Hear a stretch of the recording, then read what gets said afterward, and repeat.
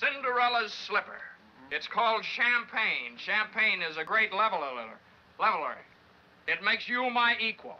Well, I wouldn't quite say that. Well, almost my equal. C.K. Dexter Haven, I would like to talk to you. Well, let's go in the talking room.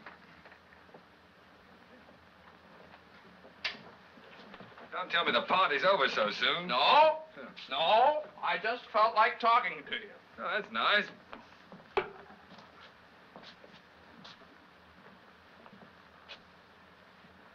Oh.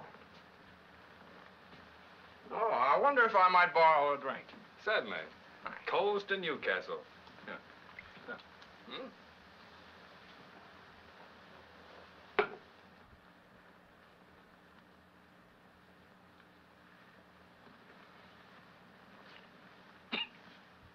Excuse me. Hmm? Oh,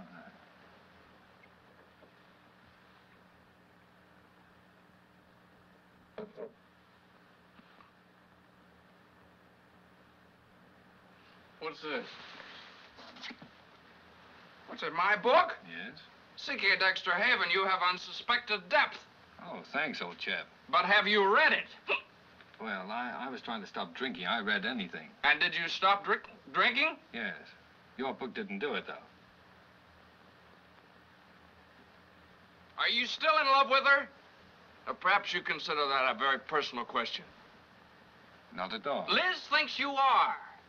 Liz thinks you are. But of course, women like to romantic romanticize about things. Yes, they do, don't they? Yes, they do, don't they? I don't know. I, I can't understand how you can have been married to her and still know so little about her.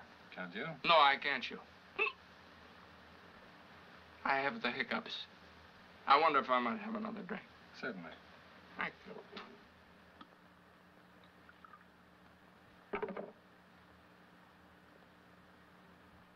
You know, Tracy's no ordinary woman.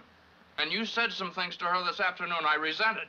Well, I apologize, Mr. Connor. That's quite all right, quite all right. But when a girl is like Tracy, she's one in a million. She's, she's sort of like a, she's sort of like a... A goddess? No, no, no, no. You said that word this afternoon. No.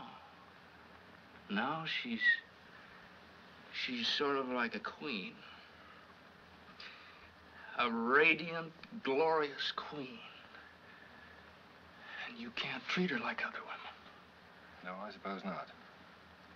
But then I imagine Kittredge appreciates all that. Kittredge. Kittredge appreciates Kittredge. Ah, that fake man of the people. He isn't even smart. He's a five-cent edition of Sidney Kidd.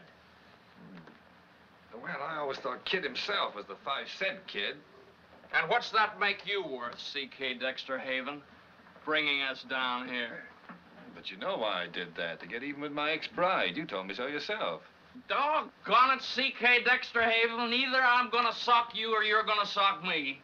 Shall we toss a coin? Mm. You know, Kidd's just using you like he uses everybody else. Mm. You don't know Kidd like I know.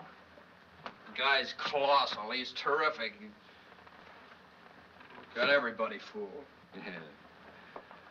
No mean Machiavelli is smiling, cynical Sidney Kidd. The world's his oyster with an iron every month. Yeah, that's